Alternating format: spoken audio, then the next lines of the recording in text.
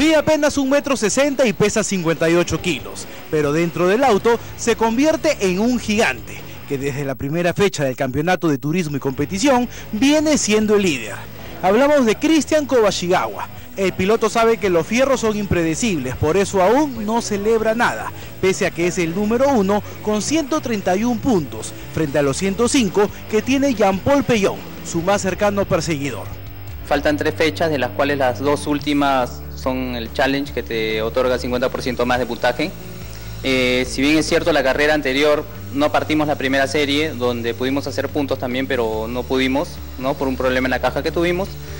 Y hicimos el mejor puntaje de la fecha, porque ganamos la primera y la segunda serie e hicimos la pole el día anterior, que nos otorga un punto más, hicimos total 21 puntos, un punto más que nuestro más cercano rival, que es Jean-Paul Pellón. Eh, nosotros hicimos 21 puntos, él hizo 20, o sea, ha podido ser eh, creo la diferencia más puntos, pero lamentablemente no se pudo. Así que nada, nada está dicho. La idea es ir en estas tres fechas que faltan pues lo más eh, seguro posible. Cristian Kobashigawa va en busca de su noveno título personal, el cuarto en la TC2000 y el tercero de manera consecutiva.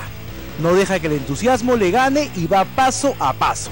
Este 25 de octubre se realizará la séptima fecha del Campeonato de Turismo y Competición en La Chutana y será una fecha especial.